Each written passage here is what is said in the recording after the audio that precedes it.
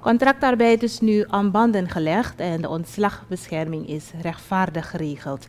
Dit is het resultaat van de twee arbeidswetten die de afgelopen week zijn goedgekeurd door de Nationale Assemblée. Het gaat in deze om de wet omzetting arbeidsovereenkomst bepaalde tijd naar arbeidsovereenkomst onbepaalde tijd en de ontslagwet van 2018.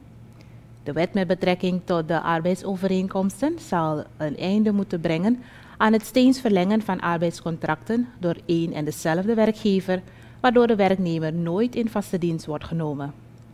Na drie verlengingen van de arbeidsovereenkomst verplicht deze wet de werkgever om de werknemer in vaste dienst te nemen.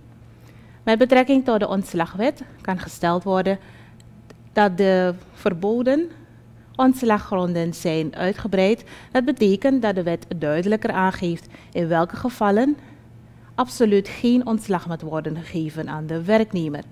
Dat een werknemer in de gelegenheid werd gesteld zich te verweren alvorens de dienstbetrekking met hem te beëindigen, had eerder geen wettelijke grond. Bij de aanpassing van deze wet wordt de werkgever verplicht gesteld om zijn werknemer in de gelegenheid te stellen zich te verweren. Het verweer geldt echter niet voor ontslag op staande voet.